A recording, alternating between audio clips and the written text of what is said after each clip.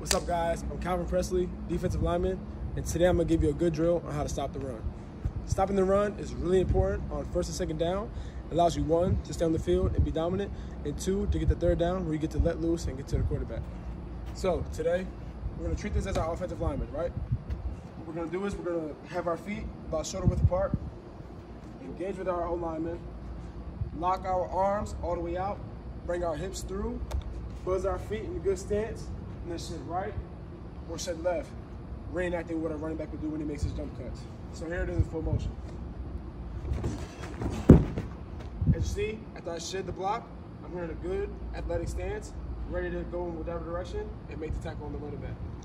This is very important as a defensive lineman to have on first second down to stop the run because it allows you, like I said, to get the third down and then have all the oohs and ah plays that everybody's looking for. So now that you see me try it, I want to see you try it let me know how it goes.